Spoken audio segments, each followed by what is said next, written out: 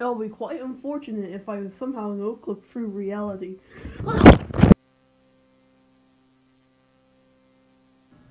Can't believe I got stuck here by stubbing my freaking toe.